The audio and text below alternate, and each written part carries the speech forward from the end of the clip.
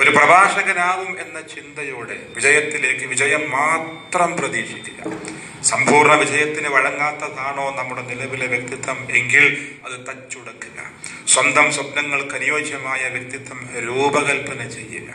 ആവേശഭരിതമായ മനസ്സോടെ വ്യക്തമായ ലക്ഷ്യബോധത്തോടെ തടസ്സങ്ങളെല്ലാം അകന്ന് വിജയത്തിന്റെ സുവർണ പാതയിലേക്ക് നാം പ്രവേശിക്കുക. വിജയം മാത്രം ചിന്തിക്കുക. വിജയത്തിന് നാം നൽകുന്ന നിർവചനം അതാണ് ശരി. അത് പലതുമാകാം. വിജയം നമ്മുടെ കാഴ്ചപ്പാടാണ്. അതുകൊണ്ട് വിജയലക്ഷ്യം മനസ്സിൽ ഉറപ്പിച്ചുകൊണ്ട് യാത്ര ആരംഭിക്കുക. ചിന്ത അതിൽ ഉറപ്പിക്കുക. കർമ്മം അതിൽ അർപ്പിക്കുക പ്രാർത്ഥന മാത്രം പോരാ പ്രവർത്തനവും വേണം. പ്രാർത്ഥനയും